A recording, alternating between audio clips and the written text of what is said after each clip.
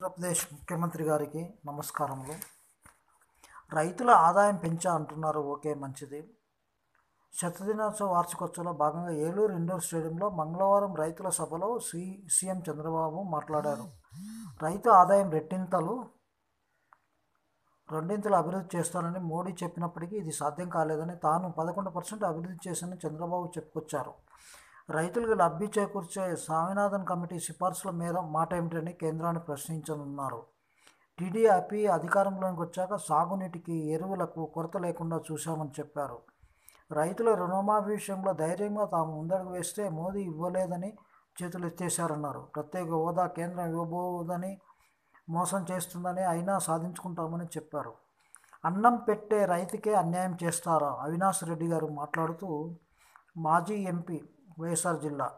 భార్య మెడలోని పుస్తలను తాకట్టు పెట్టి మరీ పంటకు పెట్టుబడి పెట్టాం కానీ వివిధ కారణాల వల్ల చేతికొచ్చిన పంటను కూడా నష్టపోయాము.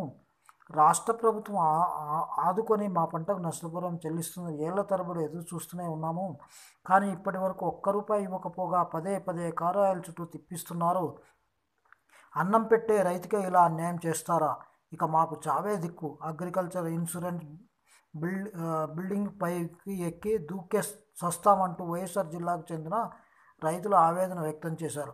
పంట బీమా బకాయిలు వెంటనే చెల్లించాలంటూ వైఎస్ఆర్సీపీ నేత మాజీ ఎంపీ అవినాష్ రెడ్డి నేతృత్వంలో రైతులు మంగళవారం హైదరాబాద్లోని agriculture insurance company of India limited ముందు ఆందోళనకు దిగారు.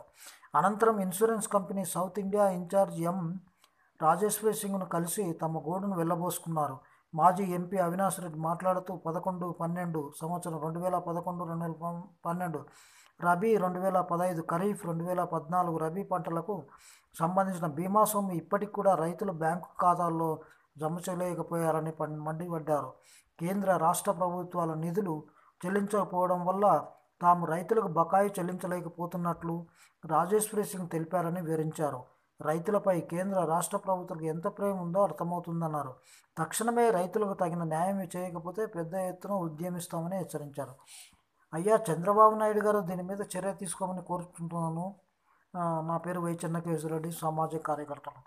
ఎందుకు హైదరాబాద్ అగ్రికల్చర్ ఇన్సూరెన్స్ రాలేదు అనేది అంటే స్టేట్ గవర్నమెంట్ ఏదో బకాయి ఉందని ఏదో కుట్టి సాగులు చెప్తుంది. కేంద్ర ప్రభుత్వమా రాష్ట్ర ప్రభుత్వం తెలియదు కానీ ఇవన్నీ కూడా రైతులకు చెల్లించాలని కోరుకుంటూ ఇంతటితో నమస్తే.